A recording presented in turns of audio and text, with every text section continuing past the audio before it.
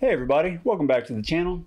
Today we have a very special episode of the Roundtables. So special that we had to bring out the silver swords, which Jimmy found somewhere at a Dollar General.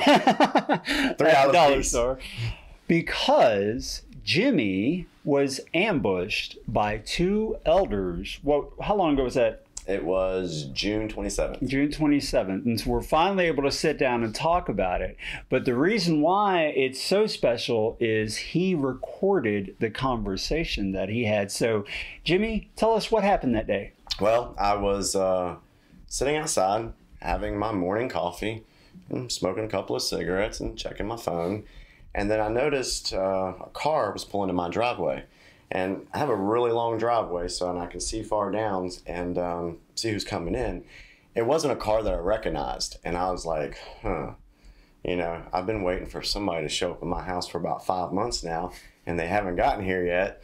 Um, so I started hiding my cigarettes and uh, kept an eye on the car. And when I noticed that there was four heads in there, I was like, "Yep, that is the Jehovah's Witnesses coming to see me."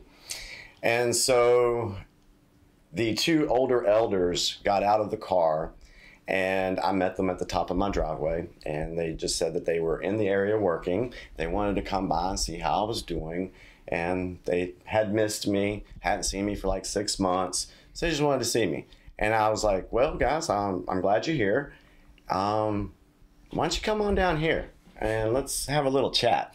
uh, I said, hang on, let me get you two chairs. So I got the two chairs and had them sit down and we started talking. Okay, so what we're going to do, since Jimmy was good enough and quick thinking enough to record all this, is we're going to listen to each segment because he talked about a number of things. We're going to listen to each segment of what they talked about, and you're going to listen to it too, and then we're going to discuss it and see what we think about it. So let's listen to the first segment now. Now, before we go to that clip, let me set it up. We had actually started talking um, about the Australian Royal Commission right away. And that's the first thing I brought up.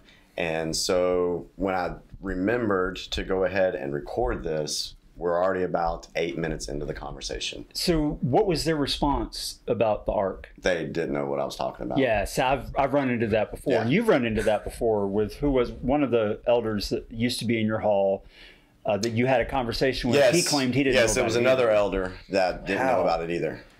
Yeah, how? That's a very good question. You know, it. I think that just goes to show how much the people who are true believers they listen when Watchtower tells them, "Don't go looking for us on the internet. It's all apostate lies Yeah. or whatever." So All- they they didn't even know. Even the elders often don't know. Okay, well, let's go ahead and listen to the first clip that followed that, and we'll talk about it. My problem is, is I don't understand how Watchtower can say they get involved with the UN when they shouldn't be. And going back to the Australian Royal Commission, Geoffrey Jackson was actually on the stand in those court hearings. And he was asked the question Do you guys feel like you're the only organization providing God's truth? Geoffrey Jackson literally said on the stand, It would be presumptuous of us to think that we are the only ones. He said that. I can pull that up right now. He actually Go said, pull it up and see it. You want to see it? I'll pull it up. Now, does the governing body or do the members of the governing body, um, do you see yourselves as modern day disciples, the modern day equivalent of Jesus' disciples? Uh, we certainly hope to follow Jesus and be his disciples. And do you see yourselves as Jehovah God's spokespeople on earth? Uh, that I think would seem to be quite presumptuous to, to say that uh, we are the only spokesperson that God is using. Uh, the, clear, the scriptures clearly show uh, that uh, someone can act in harmony with God's Spirit in uh, giving comfort and help in the congregations. But uh, if I could just clarify a little, going back to Matthew 24, uh, clearly, Jesus said that in the last days, and Jehovah's Witnesses believe these are the last days, there would be a slave, a group of persons who would have responsibility to care for the spiritual food. So, in that respect, uh, we view ourselves as trying to fulfill that role.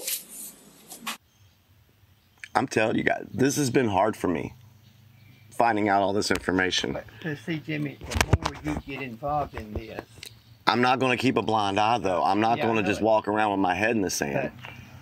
but let me ask you something. Do you think Jehovah is the supreme God? I believe that there, I believe he is Okay. God. Yes. Do you believe that Jehovah's Witnesses is the ones that is doing the work that the Bible, that Jehovah tells us to do through the Bible? Well, according to Geoffrey Jackson, it would be presumptuous to think that we're the only ones. That's he, somewhere is there that he that is a misquote. No, no, no, it's not. Something. It's not. So, Jimmy discusses the ARC with them. They ask to see the footage of Geoffrey Jackson denying basically that they were the true religion. And then they watch it. And what was the elder's response? Well, his reaction was that he couldn't believe that I just showed that to him because he made the comment that, "Well, Jimmy, how often do you know that we go to door to go to the door and tell people that unless you're a Jehovah's Witness, you're going to die?" That's what he said. Right. Yeah. That we don't go to the door and tell people we're the true religion. Yeah. But so, what do you think about that, Diaz? Does that sound honest to you? No, and the thing that bothers me the most every time I watch that video or think about it is the cowardice behind it.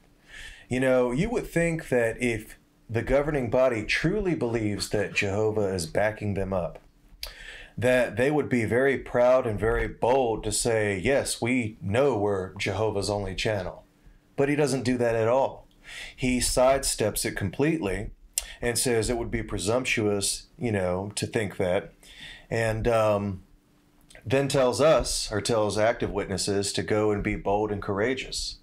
And you see, they completely, you know, they were completely unprepared for the mm. response. Yeah. They didn't even know about it. They didn't even know how to handle it or react. I was just surprised that he actually said, the one elder said, "Show it to me." yeah. Yeah, know, I was going to surprised me say too. that. I was, really? like, Show it "What?" to me? Like, "Show it to me." Because they're not. That's new. I was Yeah. like, "Oh, yes. Yeah. All right, let's do Yeah, this. that that was very surprising. So okay, so you you show them the video, and it's like they just deny what they just heard. yeah.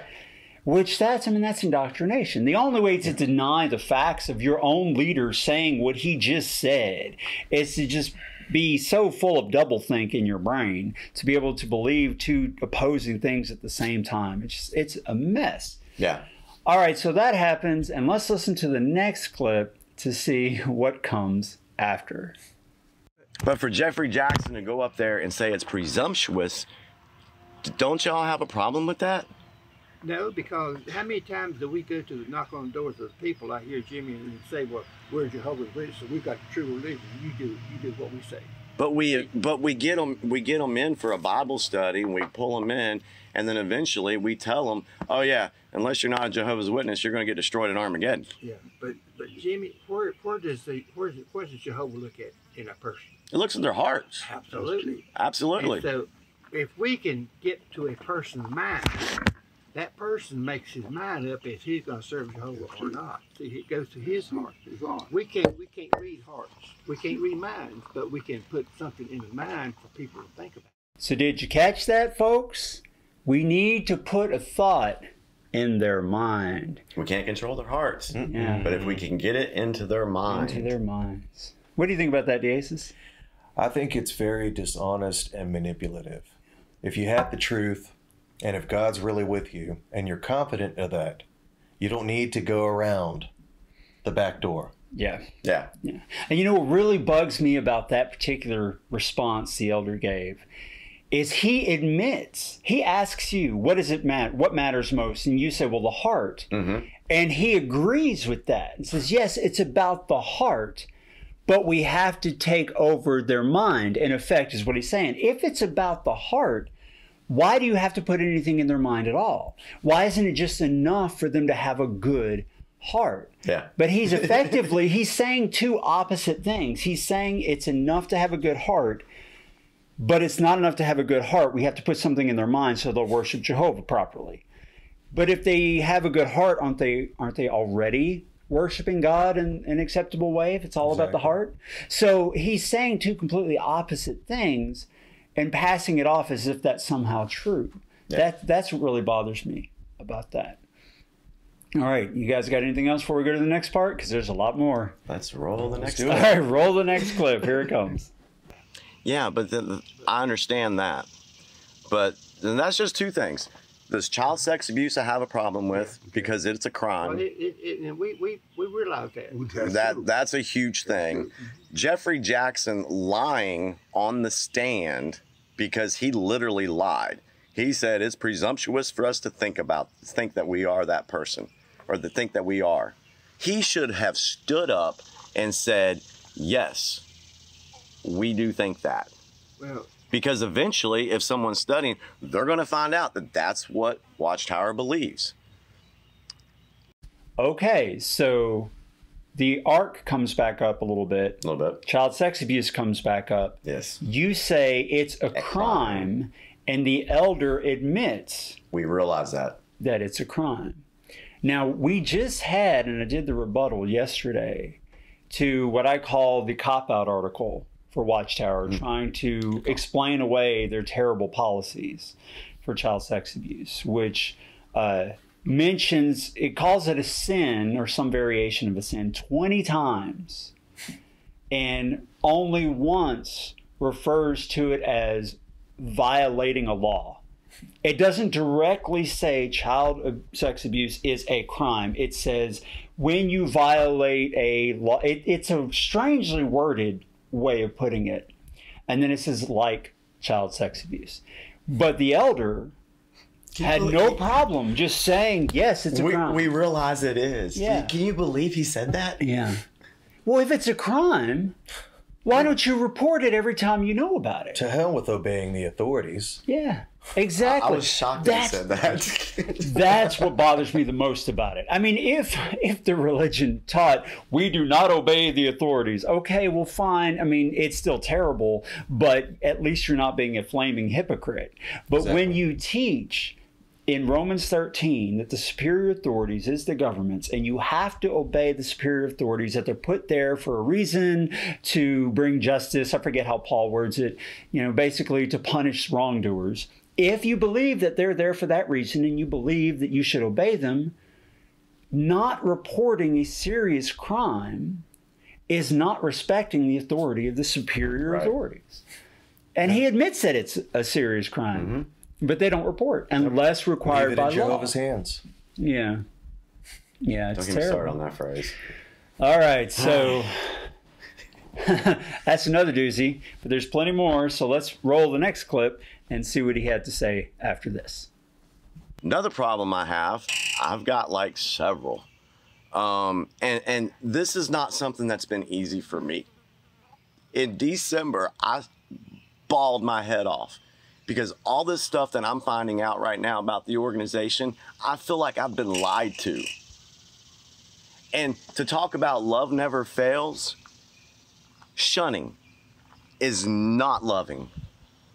When you when you cut someone off from the organization either by disfellowshipping or disassociating that's not a loving provision. If you look in First corinthians when paul was saying do not even greet a brother did you look at the context and, and what was happening and then in Second corinthians he comes back and says hey maybe i was a little too harsh that is what he said so to be able for Watchtower to be able to use that as an uh, argument that we can't talk to people or people can't talk to us, that's hogwash.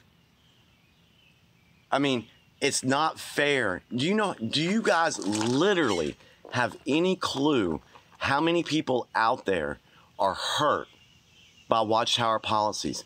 There's grandmothers that can't talk to their grandkids. There's kids that can't speak to their parents. There's kids when they get 18 years old and they decide that they want to leave, that their parents kick them out. My story I was 20 years old and had to leave Virginia because I got disfellowshipped. Because my whole family and all my friends were witnesses. And I knew they couldn't talk to me because of Watchtower's policy, which didn't start until 1952. And there was an Awake article in 1947 that railed against the Catholics again, saying that excommunication was wrong and it had its roots in paganism. I can pull that up too, where the Watchtower literally said that about the Catholic Church. And then five years later, they put it in place to start shunning people. How loving is that? How loving is it when you go and you look on the, when you go to the regional convention three years ago, and there was that drama where the little girl, the girl was calling her mom. Y'all remember that? And the mom just shut it off. What if that girl had been in a car accident? What if she had been raped and her mother wouldn't take the phone call? How loving is that? well, Jimmy, do you believe what the Bible says? I'm questioning some things Yeah, I know. Okay. Well, because then if you're questioning the Bible, you know. you- now this you- you I'm, this isn't. I'm not talking about the Bible right now. Uh, yeah, I'm but talking The Bible about. says if uh, uh, we shouldn't even associate with, Speak a with the person person. that's been. That's right. So that that part really disturbs me. I find it very disturbing. Yeah, when I was, I, I, I, I don't know what happened, but I just got real passionate about the shunning issue, and I just started naming things off one after other, and they and they just sat there, and they they had no response. What were their faces like? Do you remember at that time? Just like like they were listening, but kind of like a condescending listening Right. kind of face thing, you know. But um, yeah, I just I, I, I don't know. I just didn't stop. I just kept going on this one. Impressive recall of all those references, by the way. Lots of study in the last six months. and we had just done the round table. Yes. Where we went through the 10 things and these came up. So Yes. you were well prepared. well prepared. Hmm, divine intervention, maybe? so, Deasis, what was your reaction to what just happened? Well, one thing that I took particular note of um, during that segment is the lack of empathy, the robotic responses, and lack of empathy. These are people that are not trained to really just kind of stop and say, wow, I'm really sorry that you went through that. They are trained to be apologists who act as if they are representatives of a company in a press conference. And they are just trained to respond, trained to respond, trained to respond. There isn't any thought process going on there. So take note of that anytime you're debating or talking with Jehovah's Witnesses. He didn't care about anything No. that I said. no. It's like it went right over his head yeah. because he goes, "Well, Jimmy, what does the Bible say about that?" Yeah, So that- I don't that- you tell. That was it. Mm. that's the part that bothers me. Yeah. You, this affects you so much that you start getting emotional, mm-hmm. and you bring up the video from the convention where the mother will not answer the phone, and you say, well, "What if she had been raped? What if she had been in a car accident? What if these terrible things had happened? She's not going to answer the phone. You know, how is that love?" His response to that is, "Well, Jimmy." You believe what the Bible says? Like he ignores Every- he ignores everything. everything you said. Yeah. It doesn't matter what the Bible says. What you are asking is, is that love? And the obvious answer, well, no, of course that's not love. So how how do you justify that? But he wants to just read what he wants to read the prescribed watchtower verse to just wash away and excuse all the pain that they're causing through the shunning policy. Yep. You know? He wasn't trying to listen and understand. He was waiting to respond. It was automated. Yes. There wasn't oh, thought That, process yeah. that is going well on there at all. I could have talked for another five minutes. Yeah. And he would have said the same thing. Same thing. Same exact thing. Yeah, same thing. Yeah. That's a very good point. He wasn't listening, he was waiting to respond. Yes. With the prescribed watchtower, shepherd the flock of God, secret elder's handbook, scripture that he's supposed to read or the thing he's supposed to say. anytime that comes up. Well, Jimmy, you believe what the Bible says? You're like, that's it. That's It's like you hit the play button on him. Yeah, really. Yeah, he's like a, a string doll. You pull the string. Well, Jimmy, you believe what the Bible says? Well, Jimmy, you believe what the Bible You gotta make that your well, ringtone. you know, ah, that is that would be great. that would be it. awesome. We should get a doll made Yes. where you pull the string and it says that. little thing that spins around. But and, and as funny as that is, it really shows what the mentality's like. It's not about reason. It's not We about have to love. laugh It's not to keep about from crying. Yeah, Yeah. exactly. Absolutely. what is the prescribed response? Yeah. If Yeah. you were a witness, what is the prescribed response? And that's it. That's the response. All right, well then, Jimmy, I love this next part. Let's listen to the next clip when Jimmy decides, well, if you're going to use the Bible, let's use the Bible. okay, Don't so even have you got your Bible? Yeah, I have my Bible. Let me have your Bible for a second. Yeah, yeah, here you go. All right, so if you want to, if you want to do that, mm-hmm. I'm telling you guys, I've done so much. Well, you've done a lot, Jimmy, but evidently, you know, there is so much that the evil slave class can bring into your out. mind. Into your And- mind. But how am I wrong with this? How am I wrong about the UN?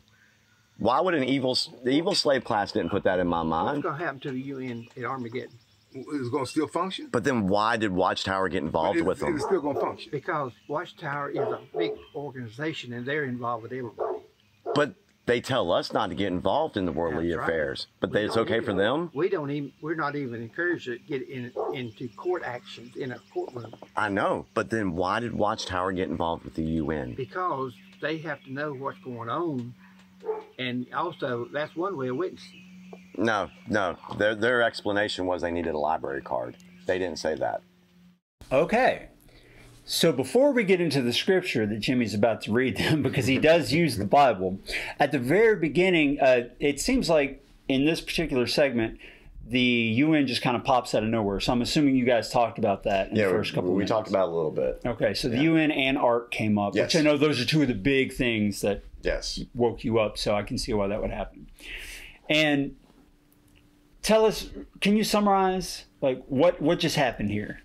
So I asked them why did the why did Watchtower get involved with the UN, and his, his response was, He says that because the Watchtower is a big organization, "Yeah, and so they're involved with everything, everybody, yeah, right? Or Watchtower's a big organization, and we're involved with everybody." It's a great reason. and and you, um, but you bring that right back. You you tell them, but we weren't we weren't supposed to be involved with the United Nations, Right. As individual Jehovah's Witnesses, it wasn't okay. So why is it okay for Watchtower? And then the other guy, his his cop out is, well, it's it's like a, we're giving them a witness. no, you're not. And plus,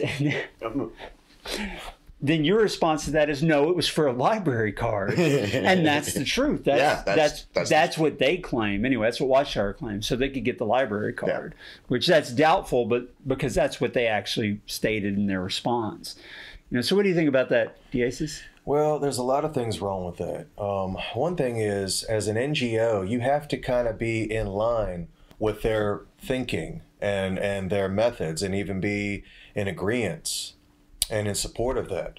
So, you know, either way, that's not neutrality. And if we're going to talk about the bottom line here, the bottom line is that Watchtower, Jehovah's Witnesses, are a member of Babylon the Great. And the Bible says, or according to their interpretation of it, Jehovah's Witnesses are not supposed to be part of Babylon the Great. But the bottom line is they are a member of Babylon the Great. It's hypocrisy. Because we're It's a big organization. hypocrisy. We're a big organization. We're involved. So that with makes it okay. Yeah, that makes it all right. Right. Let's go to war too. And we talked about this in the first round table over the 10 things. The United Nations was called in the Revelation book, which is now defunct, uh, the image of the wild beast. Yeah. So, I'm. It's hypocrisy at its best. if Satan owns a library Would you get a card? I love you it. know what? I don't care what Never thought book. about that. That's good. What book is in that library that you need so badly? That's a good way to point it. Yeah, it's a good way. Yeah, to you Why gotta does go to Jehovah need Satan's help?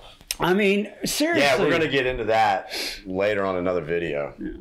Okay, so that's the UN Yeah. part, and the next segment. Well, I'm not even going to give it away. Let's just Let's listen to it because it's great. Hold on, let me find this one scripture. But, but Jimmy, why you find that? Okay, here it is. All right. So, another issue I have is the failed dates. Um, Russell started out, and when Russell started out with the whole 1914 thing, he said that the world was going to end in 1914. It was actually written in his material. That, that, that was a, Okay, that was right. Then, 1925, Rutherford said that the holy ones would come back Isaac, Abraham, Jacob, that they would be resurrected in 1925. He actually had a house built in San Diego, and they named it Beth Sarim, which is called the House of Princes, because he said that when 1925 happens, that they're going to need a place to stay.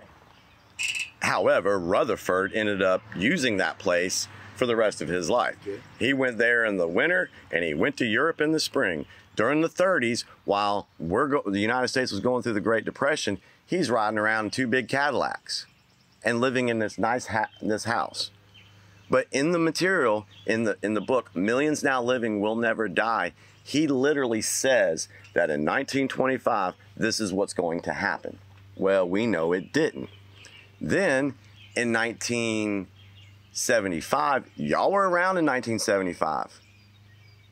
And they highly suggested or implied that in 1975 the world was going to end. They started putting information in the watchtower going back to 67, 68, 69. They were telling young ones, don't get a career because the world's going to end. Don't get involved with this because the world's going to end. Do you know how many people didn't go to college or didn't get a career and now they're older and they hardly have any money because they didn't set themselves up when they had a chance to? So the 1975 there was actually a district overseer at one of the district conventions, and y'all know it. He said, Stay alive till 75. I can pull that talk up. So that's a failed. So hold on, hold on, hold on. Here's my point. That's a failed prophecy. They were saying that. They said it in. Russell said it in 14. Then it was actually 1918 was one of the years too. 1925, 1951 was one as well. It's not really well known, but that that was one. And then 1975. And then in the watchtower that had the um, picture of all. It was like in the 80s, 1983 or 84 there was a there was a picture that said uh, by no this generation will by no means pass away and it said we can see this fulfillment in our century so they were saying before the year 2000 before the turn of the century before the year 2000 that we would see the end of the world now they've changed it when they just say now it's just soon But don't you think it's Jehovah's time period to end situations, not man? I, I Don't you- agree don't- I agree don't that agree for Jehovah God to end this system, He's going to do it in His own time. But here's here's here's the problem. You have so many people going back to 1975. So many people felt that way. So many people believed that Jehovah was going to destroy the world. But in the scripture, you talked about, you know, you asked me a second on scripture, Deuteronomy 18 verses 20 through 22. If any prophet presumptuously presumptuously speaks a word in my name that I did not command him to speak, or speaks in the name of other gods, the prophet must die. However, you may say in your heart, How will we know that Jehovah has not spoken the word? When the prophet speaks in the name of Jehovah, and the word is not fulfilled or does not come true, then Jehovah did not speak that word. The prophet spoke it presumptuously. You should not fear him. So in 1975, Jehovah See spoke. that? The prophet. And here's the reason. Presumptuously, that's just like a brother in that in that video. But Holy He spoke presumptuous. But Holy Spirit is supposed to run the organization. Jehovah is supposed to give light to the elders, COs, governing body. Okay. The Holy Spirit's supposed to do that. So if if by Holy Spirit they were telling everybody, oh, 1975 is probably going to be the end of the world, um, that's not right. Well, Jimmy, I think it's safe to say that those two, elders, that? those two elders got schooled in their own history. that was fun. Uh, I believe it. I could tell that you you had been preparing for Yes. this. Yes, I was This not. moment. I was. Really I, I got it. excited and did not let up. They came to ambush you, but the trick was on them. they walked right into it. There's Yes. no question. But what you're saying is true. They've got all these dates, Mm-hmm. All these dates that were predicted. They all failed. And then you read in Deuteronomy 18 where the prophet who speaks falsely should die. He must die. That's what it says, right? And what was that? The other brothers. Uh, how did he word it? He said, "Oh, it's it's, It's it- he's going to do it in his own time." Yeah, he's gonna do it in his own time. Well, then why do you keep predicting dates? Yeah. Let him do it in his own time. Yeah. It's the the double thing going on here. It's just ridiculous. And then he tried to say, "Well, don't you think we live in the last days?" Well, that's not the point. Even if that was true, Not- you shouldn't be predicting dates. You, as a prophet, you should die. if you're going to go off the Old Testament, which they do for a lot of things, Yeah. the Old Testament said that a false prophet should die, and yet you're proving yourself a false prophet over and over and over again. now, we're not advocating anybody dying, but the point is they're violating the scriptures And that they're holding. And see, what was so cool is these two brothers. I think between the two of them, they probably have 90 years Yeah. of Watchtower experience. Yeah. I know one's been plus, yeah, uh, yeah. Well, just these Which two. did them no good. Yeah. And I noticed just like when you brought up all the points about shunning not being loving, they did not respond Oh, yeah, with yeah. any evidence to any fact you laid out. They ignored that and went to the standard prescribed line. well, you don't think you think we live in the last days? Don't you think Jehovah's going to do it in his own time? Mm-hmm. Well, that's not. The, I swear these guys make great politicians because they do not answer the question. You know, they're not answering the question. that. they're they're ignoring the facts and saying something that's only marginally related to the fact, Yeah. if it's related at all. And we got that a lot, but that's how we were taught. Diasis, what do you think? There were actually two things that I noticed here. Um, first off, we can invalidate almost all of Jehovah's Witness doctrine with just using 1914 alone, because Jesus said, This generation will not pass away until all these things have occurred. Well, that generation has passed away. And then um, another thing that I think of is the very obvious black and white scripture also you know allegedly a quote from jesus is only the father knows so why are we guessing at it Right. Why are we if you're if you're basing everything on the Bible, Yeah. and it says only the Father knows, then why in the world yeah are we Yeah. even talking about these dates? exactly Jesus Exactly. Christ does not know, according to that scripture. Literally. So you're When saying the that you end know is more than coming. Jesus Christ, and you're Exactly. gonna, you know more than ah. Jesus. and that's arrogance right, there Boy, the but that's that's Watchtower. The hubris that they've had in its entire existence. Well, know? I tell you what, if you like where we're going with this, let's go into the next clip because we start talking about inspiration. Oh, that's right. Yeah. Well, let's let's roll the next clip.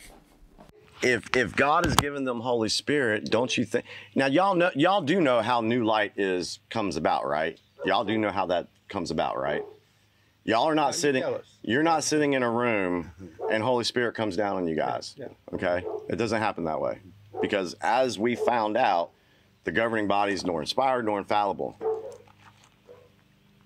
They vote.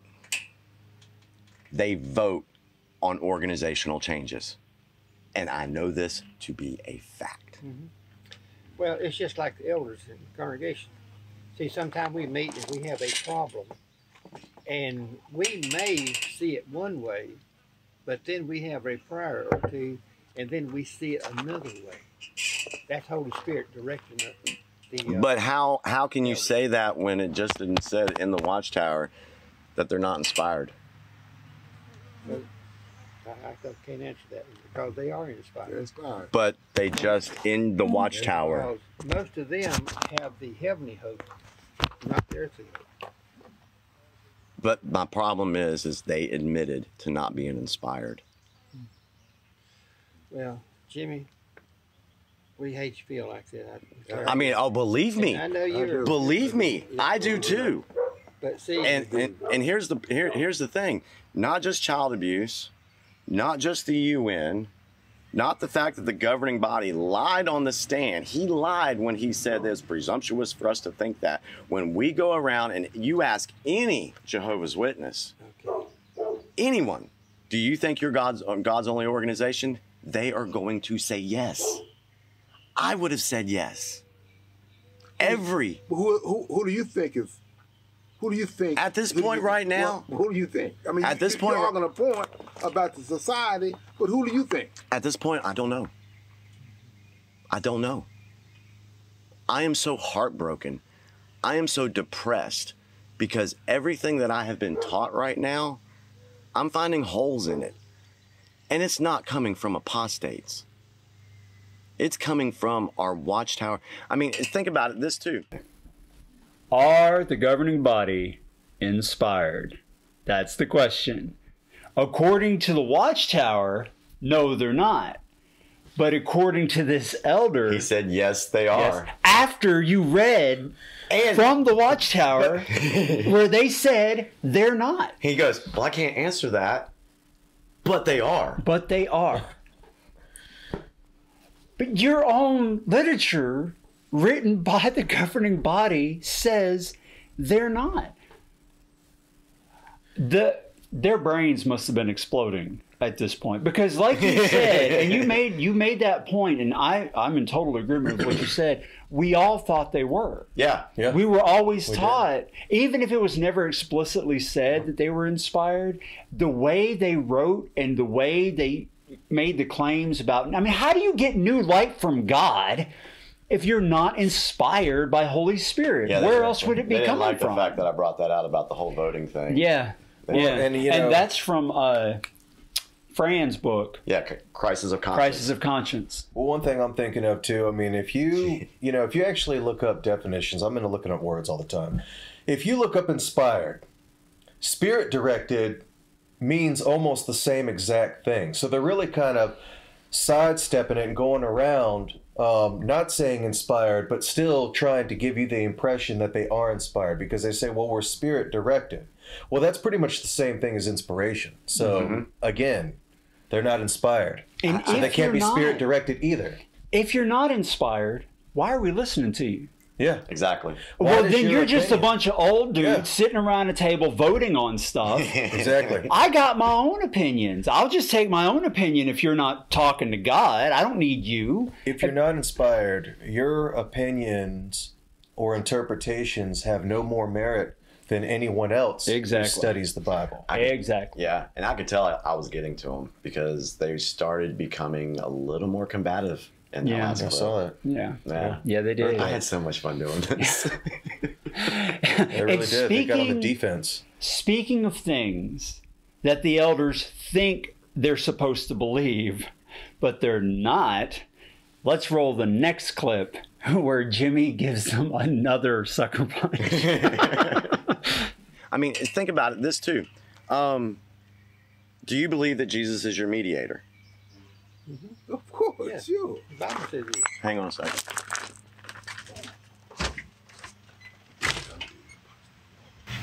Apostate. Apostate. Apostate. Absolutely. Yep. Hey. I see that too. I see, I see that. I'm asking it I see that before we too. leave. Yep. I see that too. He's positive. Yep. Yeah. That's a shame. It is. Just like Adam and Eve. Is it really so? Is it really so that you can't do this? That's, that's because of education. We're gonna have to coach you. Oh, yeah. Oh, yeah. Oh yeah, precious. It's uh, it's almost 12 o'clock. almost eleven o'clock.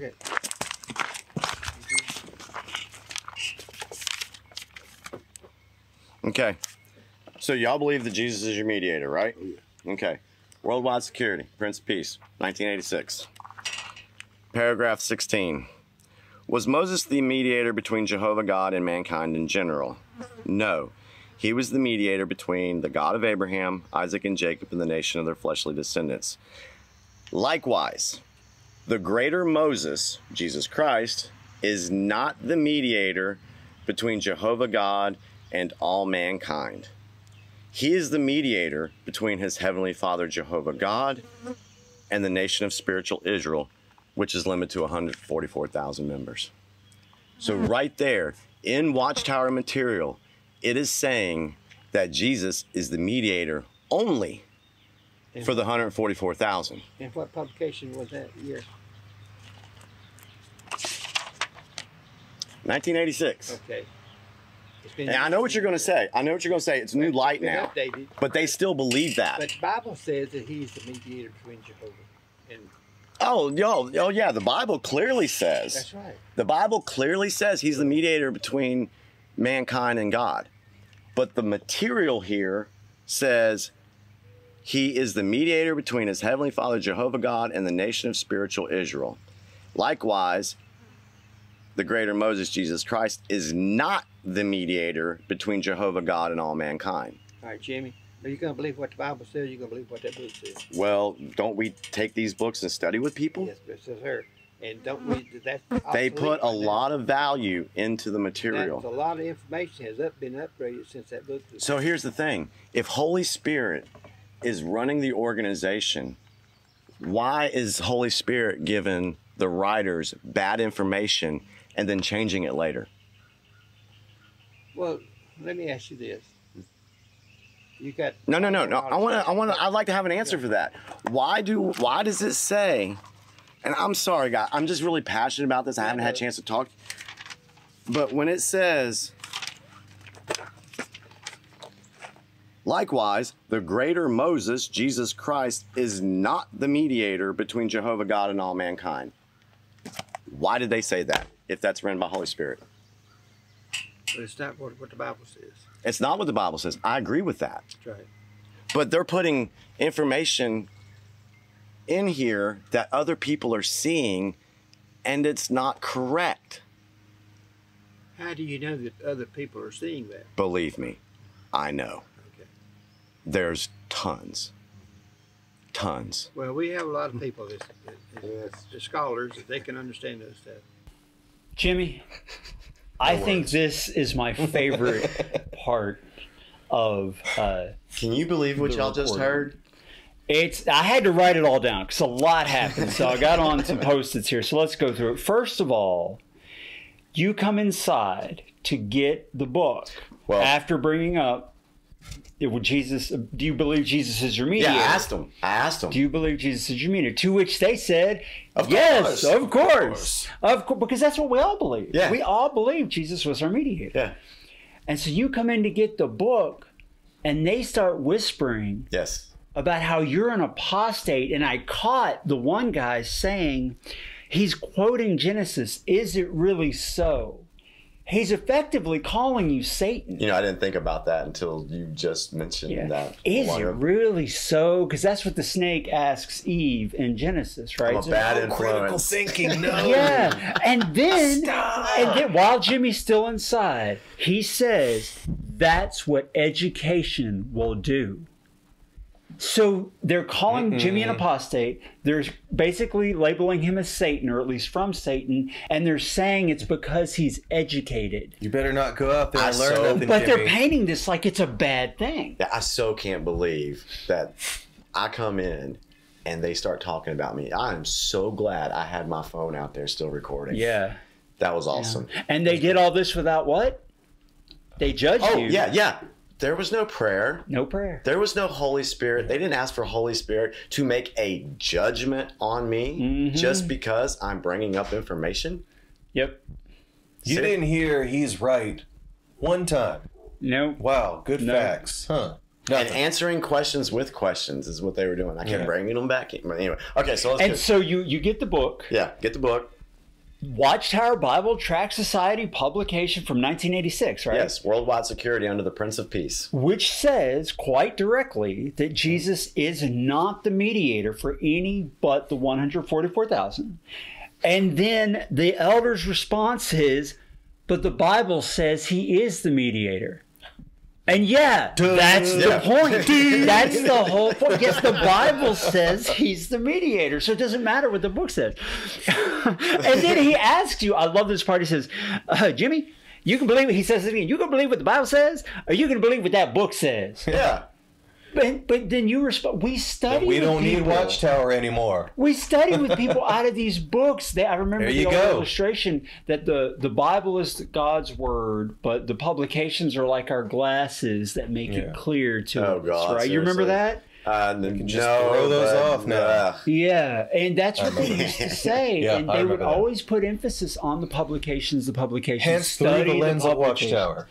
Read the Bible and study the publications. But now this elder who is old enough, both of them Oh, yeah. old enough Yeah. that they studied this book. They read this. They had to comment on this. They were probably conducting for this. But they still don't know that this is what Watchtower teaches. And he denies, rightly so, that the Bible teaches that because it doesn't. But it continues to try to defend the Watchtower. Mm-hmm. What's your thoughts? Why would you want to be part of an organization that hides so much from Yeah. you? Yeah. I mean, just And I've exposed Yeah. a lot of that just in these clips of how they feel. You know, it's crazy. And then you bring it up after that, after saying, well, we study with people without these publications. You say, it, what is Holy Spirit effectively changing its mind? Is it giving them mm-hmm. this Right. information and then saying, oh, sorry, I got that wrong. Here's the new light, right? It, and there's no levels of truth. Was this truth truer than the last truth? I mean, that's just, oh, it's so ridiculous. But he, he then again repeats, that's not what the Bible says. The elder repeats twice. That's not what the Bible says. But then says, we have scholars who understand all that. If you had scholars, you wouldn't be teaching this because they would say, "Shut up." as you said rightly, Mr. Elder, twice, that's not what the Bible says. How many scholars are in the writing department? None. yeah, exactly. How many scholars translated the New World Translation? None. There are no biblical scholars. No one has come forward with credentials to say that they have the understanding of the classic languages, the ancient Right. languages, or the history or the culture or anything. No, these guys make this stuff up as they go. Mm-hmm. And you know, I just want to say this because this is another observation that I noticed. These were two elders, okay? These are people who have 30 years each experience, if I'm not mistaken. 90, 30? 90 So altogether. like 45. 40 and 50. 40 and 50 years. Okay. The governing body sends you, whoever you active witnesses may be, sends you out here into battle with like a butter knife. and you are the last to know about all of these things that are going on that are true. And they even sidestep issues and will not ever participate in the battles that they send you out into war to engage with people in. So think about that. They won't even stand behind their own um, rhetoric, and they send you out into it, Yeah. completely ill-equipped. Yep. Deasis is our warrior of truth. What Well, I will say, which is similar, but from a different perspective, is these are the elders. These are the leaders, the shepherds, Of the flock. the most your leaders. knowledgeable people in the congregation that are supposed to help. If someone has a question, they're supposed to go to these men to get answers. But these men don't agree with what's printed in the Watchtower. Mm-hmm. First, he said the governing body is inspired, which the hell are we contradicted what? Watchtower said. And second, he said Jesus is our mediator twice, stating because that's what the Bible says. Yep. And he's correct about that last one, that that is what the Bible says. But people are going to come to him to get them, you know, their mindset straight or whatever, when he doesn't even know what Watchtower teaches. This is why Watchtower gets away with this because people, even the elders, don't know what they really teach. And to outsiders, they look arrogant and ignorant at the same time. So it's not a good look. No, it's really not. Jimmy, you got anything to add to that? I don't think I think they said enough on it Yeah. or on this one. I'm just I was just blown away. I really just couldn't believe they talked about me when I went inside. Yeah. Um, side Yeah. note on that is after we did have this meeting, uh, the very next day I did send a text message That's to the coordinator body of elders and told him that they had come to visit and they kind of got combative and uh, that they talked behind my back. Yeah. And I actually told him that uh, you might want to have a little discussion. You might need to go counsel them on being appropriate when to say things because you never know who's listening. How to have empathy. Yep. yeah. Yep. So that's yeah. I just couldn't believe this. Yeah, it's, it was a mess. All right, well, let's get into the next segment and see what else happens. and and and you know if you go back let's see there's there's other things that i have a problem with there's other laws that watchtower puts on everybody that are not scripturally backed up for one a beard there's nowhere nowhere in the bible that says i can't have a beard No, we have a lot of brothers that have beards. And, but uh, they can't hold positions in con- they can't be elders they can't be servants they can't run mics do y'all know why the beard thing was put in place do y'all know why tell us. Tell, tell me why. no, do y'all even know why Well, tell me why. okay all right so y'all know that russell had a beard. Okay. okay? Rutherford took over. Rutherford had a problem with russell. Rutherford was on a little power trip. And russell or rutherford ended up changing a lot of stuff that russell taught.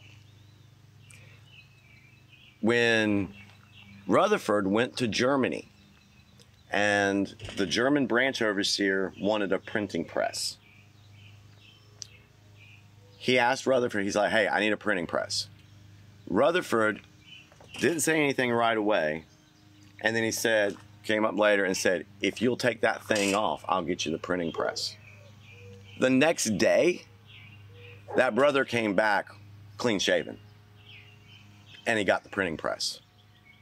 It was a man made decision that was put upon the organization because russell or rutherford didn't want people following russell anymore and that was one thing he did. That's why in the 1926 photo at Bethel, the Christmas picture, everybody there is clean shaving. Clean shaven. If a beard was good enough for Russell and we look at him as being the founder of Jehovah's Witnesses, why can't they have one? It was a man made decision by Rutherford to kill the beards. Why do you say that he was a founder of Jehovah's Witnesses? Oh, everybody's. Every, but it's in our. He's the one that revived, revitalized the organization. But see, Jehovah's Witnesses, there's uh, Noah, all of them have been Jehovah's Witnesses. No, Jehovah's. Witnesses were not established legally as far as name is concerned until 1935. And then, but see, all of them has has If if that were the case, if that were the case, if Noah was a Jehovah's Witness, he would have been disfellowshipped because he was drunk. David would have been disfellowshipped because he had multiple wives and had a guy sent to be killed and, and, and, and because he was trying to cover up his adulterous affair with Bathsheba. If they were Jehovah's Witnesses, they would have been disfellowshipped.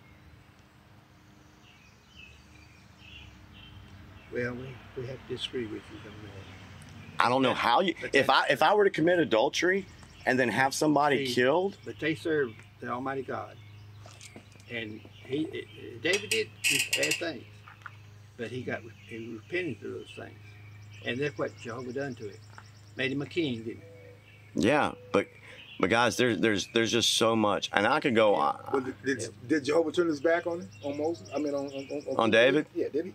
Not according to the scripture. But but he did all these all these bad things he did, but Jehovah God still used it. You know what? And I looked at that as one of the things that kept me going back in the day because there were some things that, you know, I wasn't too proud of myself that I did when I was inactive.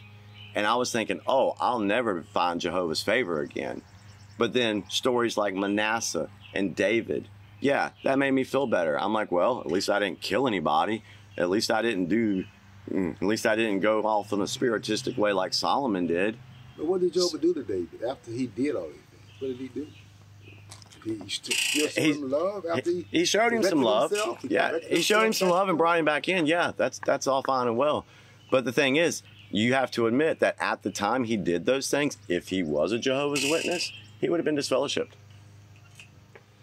Well, Pedro, we could stay here and talk all day, but we're gonna have to go. Oh, come on. We're just getting started. Yeah, well, We'll have to come back another time. gotta come There's back two of us. uh, And, and I'm going to tell you guys right now um, I know what I'm getting into. I've already talked to my dad about this. And my dad told me, he said, Jimmy, whatever you feel like you need to do, whatever you feel like is the best thing to do, go ahead and do it. He said, the only person I'm worried about is my mom. And I'm going to tell you, I'm not writing a disassociation letter. Not happening and I will not be disfellowshipped because I am not going to allow an organization to label me. And if that was the case, there might be some legal action. All right, well, that segment covered a bunch of things, and let's go through them one at a time. First, you bring up man made rules, and naturally, it goes to facial hair, Uh-oh. to the beard, right? Oh. We're gonna have to go to the elders' room.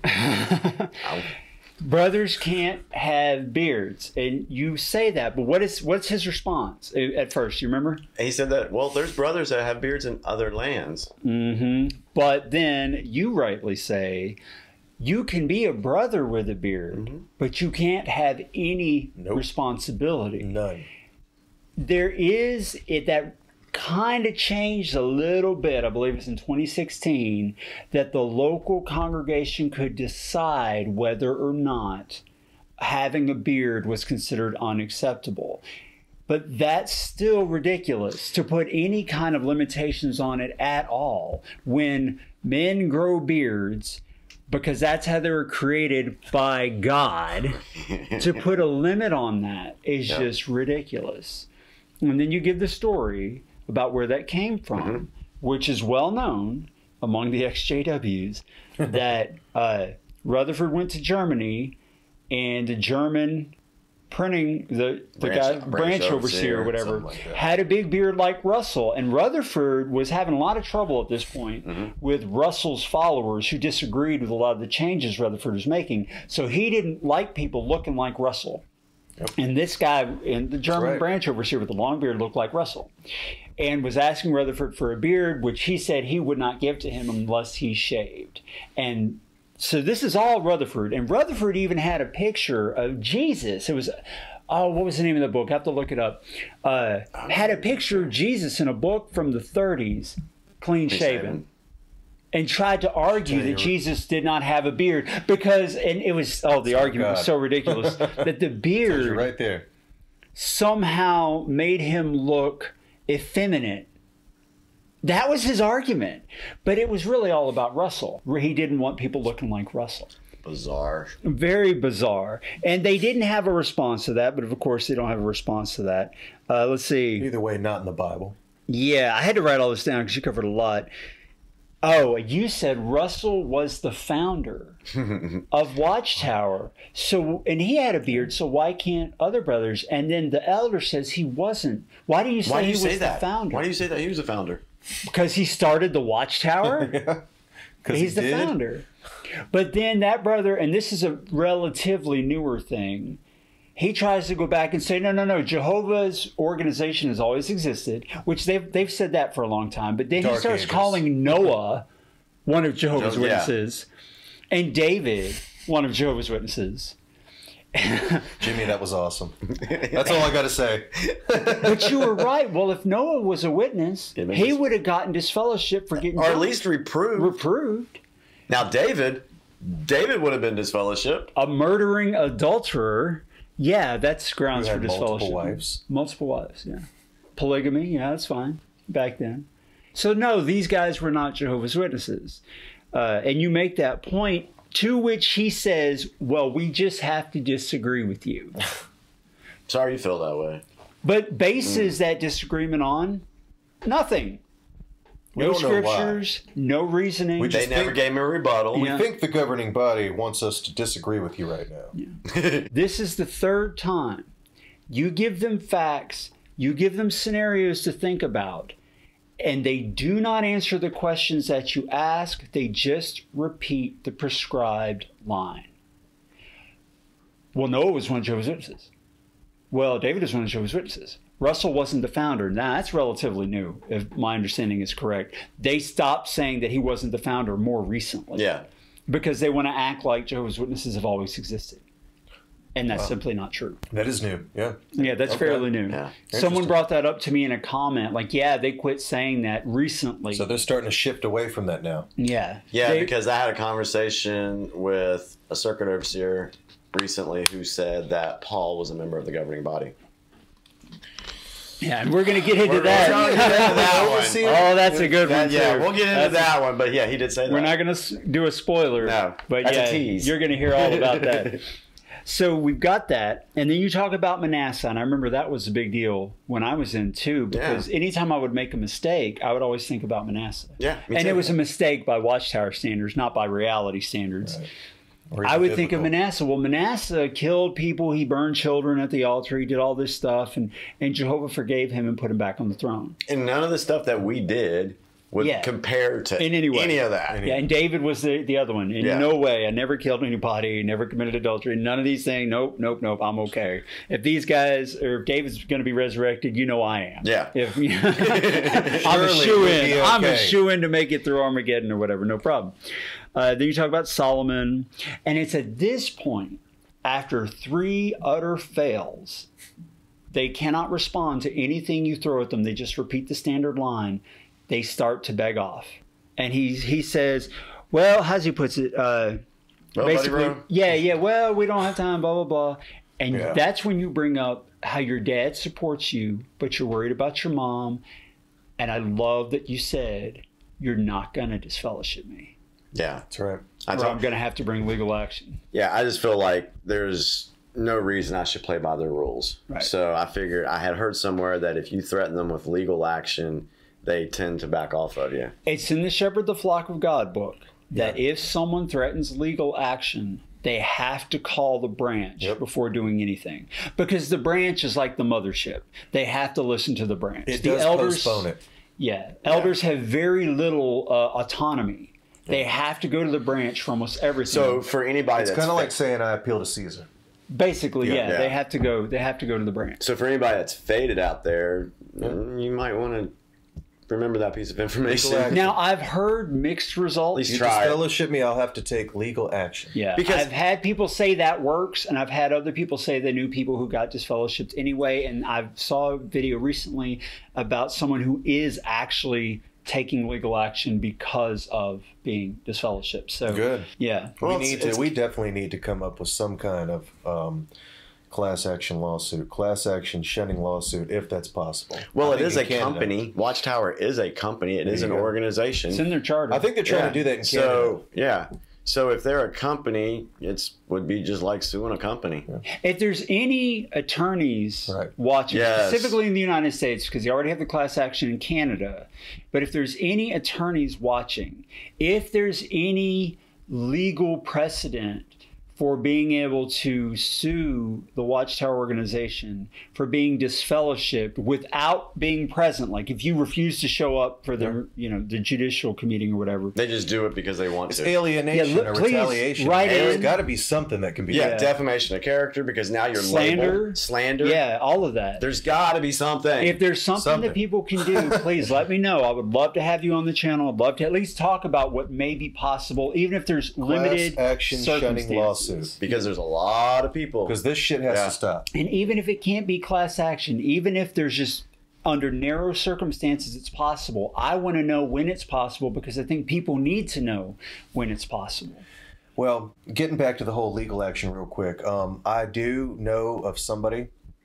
Um, there is a brother um, who I know, who tried the whole legal action thing. And getting back to what you said, um, it did postpone things. And it definitely complicated things. And they did have to talk to the branch and coordinate all of this. And it bought him some time. Um, unfortunately, though, he still got disfellowshipped. They um, ended up disfellowshipping. They ended up disfellowshipping him for um, causing divisions. I think. I think that's what it ended up being. So, Sounds like that'd be about right. Yeah. And I, I know that like there was a failed case in Canada where one former brother tried to sue and Canada said no. We don't get involved in that's religion. We're not getting involved in that.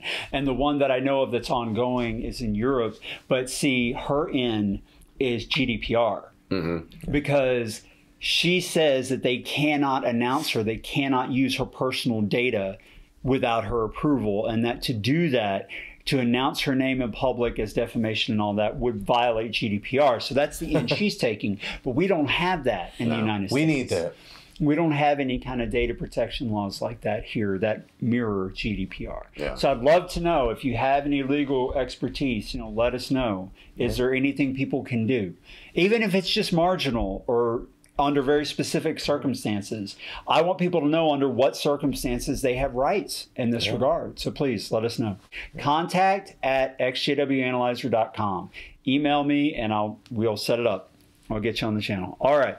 Let's get to the next segment and see what happens next with the elders who are now trying to get away from Jimmy. I am willing to talk about anything. I want everything that I have found to be false. But it's not. And the problem with it is when you're fully in the organization, Watchtower controls everything we do. They control what we wear, what we do with our appearance, how we're supposed to view um, many, many things. They control what we do. And y'all know that to be true. Uh, just don't get yourself so and so trapped up in Satan's. I, I, it's not. Thing. I, it's he- not. I, right now, I don't even believe in a Satan. I don't believe in a Satan. And, and, and, and I guess, you know, we talked about love, and I guess this is one thing I'd love to have an answer for is if you look in the Hebrew scriptures, how many times did Jehovah kill people? Jehovah not a murderer, but he, he did he has caused angels to kill like 185,000. So the what about the flood? Right. What about the Amalekites when he killed the kids and the animals? But he told them beforehand what was going to happen, along just like he's telling us right now about Armageddon. But then you go over into the New World, or you go into the Greek scriptures, Christian Greek scriptures, and it's all about love. It, I mean, from Genesis all through the Hebrew scriptures, if you count it up, there's over 2 million deaths at the hands of God. Satan didn't kill any, I think there's like 10. So I, I, I'm having a hard time believing in Satan right now. But Yeah. but in the Hebrew scriptures, it or not it, not yeah in the Hebrew, Jehovah took out a lot of people. The Baal worshippers, the flood, the Amalekites, all the nations surrounding. He literally helped kill all those people. You can't deny that. Well, that's a higher authority. I don't go that way. I'm yeah, not- yeah, but you know, but going that there was but- a reason he done it too. But then, so let me ask you this: Do you guys think it's reasonable? This is one of the questions I had. Armageddon's going to come. Okay.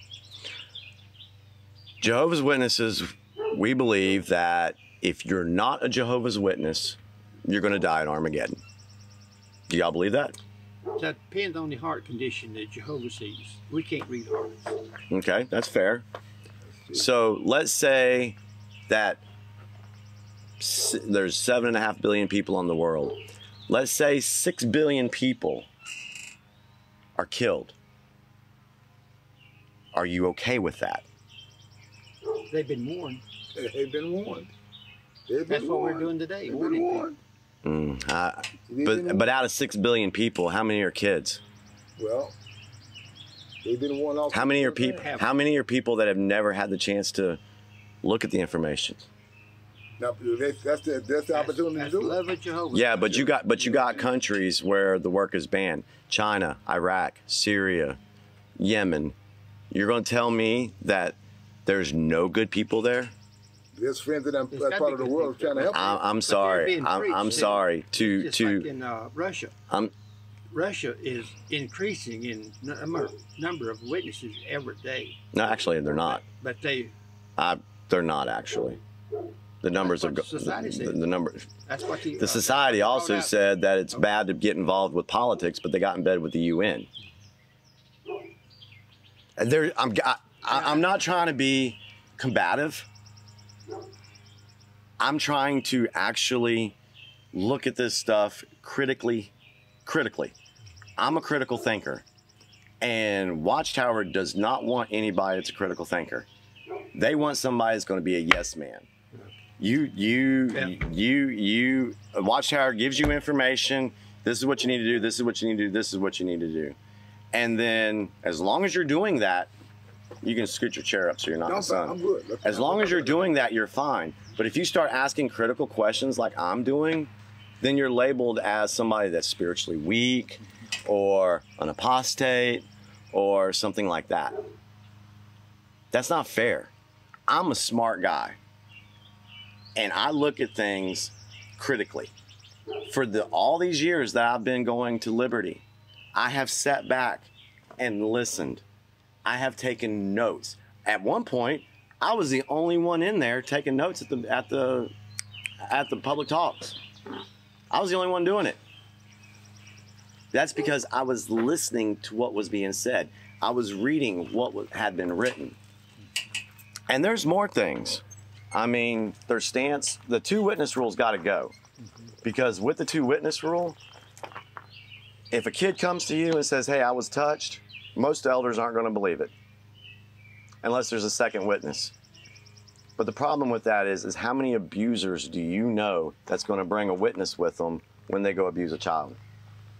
Look up the Australian Royal Commission. Look up the $66 million Canadian lawsuit that's going on right, civil lawsuit going on. And that's why Watchtower is asking for money. You can see it right now on jw.org in the meetings. They're always talking about donations. And Russell said that when it gets to the point that we have to start asking for money, then we might need to close up shop. That's what Russell said. And you can look at it. These brothers are on jw.org. They've got their nice watches on and their pinky rings. But they're asking hardworking rank and file witnesses for more money. The reason why? They got to cover all these lawsuits. That's why they're selling so many kingdom halls. You know, that structure was taken over too. Y'all received y'all as elders, y'all received a letter and y'all were only supposed to read the first one or two pages of that letter to the congregation. The other part of the letter, y'all were told not to read it. That's true. About the setup with they were going to take in, they were going to take over the Kingdom Hall loans or whatever, and and we still had to send money to the organization, and that they would care for the Kingdom Hall if they need to be repairs through the LDC or LDC, LDS, whatever it is. Um, they were going to do all that, but instead of repairing some of these Kingdom Halls, they just up and sold them, and they have moved people to other congregations, and they want to spin it and say that that's growth. That's not growth. When you close a Kingdom Hall and you take everybody and move it over to another one, that's not growth. That's consolidation because Watchtower has got to get the money to help take care of these lawsuits. Well, there's more to it than that, uh, Jimmy. But we're gonna have to go. I got a question to ask you. Sure. I see some cigarettes there. You You smoke? smoking? Smoking, bro? Yeah. Yeah. Now, why'd you start smoking? I've been smoking for years. Even come to Team Hall? Yeah. You were still doing it? Yep. Okay. I'm, I'm being honest. I, I, yeah, oh, I, and I'm telling you, I'm that. I'm not I'm not. I'm I'm not afraid anymore. I was afraid. Yeah. I was afraid. But to know that the governing body said that they're not inspired or infallible, they have no power over me. Yeah. It's an it's a and if you look at the Watchtower charter, mm-hmm. there's a Watchtower charter that actually and I could I could pull that up too. Yeah. It says that they are a business organization, not a religious one, and that is in their charter. And if you want to talk about investments, Watchtower Investments, they invest in Philip Morris, they invest in Lockheed Martin, which builds war machines. They invest in Monsanto, the genetically reproduced seeds and stuff like that. Those are part of their investments. Mm-hmm.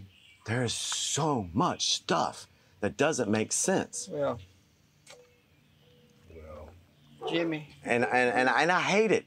I hate it, yeah, brothers. We, we hate it too. I hate it. But But the thing is, is there's a lot. There's so many people that have woken up. Former elders, former Bethelites, the stuff that goes on on Bethel. Did you see what happened to Tony Morris a couple of weeks ago? He was caught on camera at an ABC store buying 12 bottles of Macallan whiskey. That was, that was, it's true. Everything I'm telling you guys is true. You're not going to believe it because I wouldn't have believed it if I was still in the organization years ago. But there, because that you about ready? that oh cognitive dissonance uh-huh. kicks in. Okay. Well, look, we're gonna have to go. We gotta go, man. We Thank you for the appreciate your time. conversation. Okay.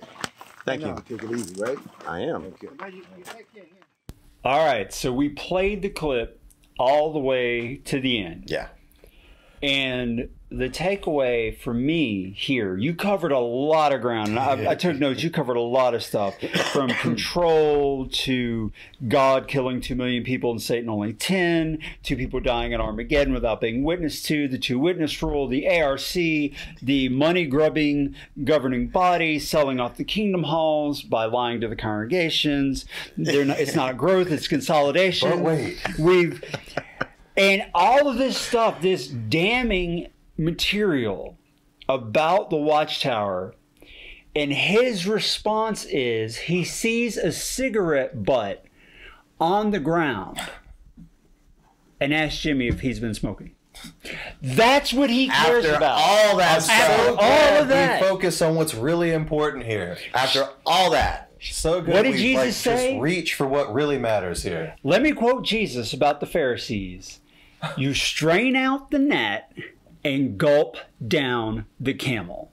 They gulp down this massive, grain fed, overweight, obese, can barely move camel and point out that you they see a cigarette butt on the ground. yeah, after This is who we're dealing with after all that, after all that. And you should have said it's probably, you know, the cigarette butt from the company that Watchtower's invested in. Because they've actually invested in tobacco companies, Yeah. believe it or not. Or have had people invest for them in tobacco companies. Yep, it was in a, Again, a, a fund hypocrisy. that they invested in. Philip Morris Yeah. for Yeah. years was part of that fund. Yeah.